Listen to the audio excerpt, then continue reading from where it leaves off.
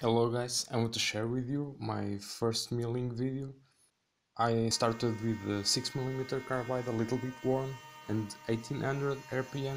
Uh, the tool started, started to rub some aluminum and it stuck to the, the tool. You can see here I stopped at the machine and uh, you can see the result on the mill. There are some aluminum stick to the mill so I opt for uh, putting a new mill it's a carbide 6 millimeters uh, but it's completely new.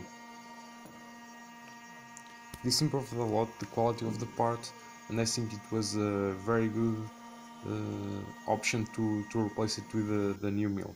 Here we have the last step of the G-code so it finished the, the part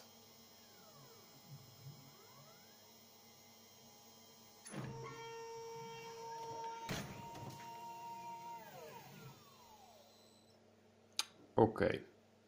Thank you for watching guys.